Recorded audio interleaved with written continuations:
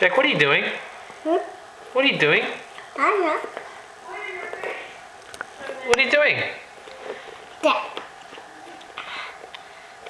You brushing his teeth? Okay. Yeah.